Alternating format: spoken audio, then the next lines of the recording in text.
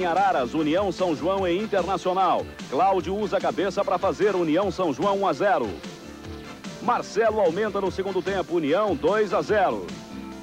Cláudio de pênalti define, União São João na repescagem 3, Internacional classificado 0.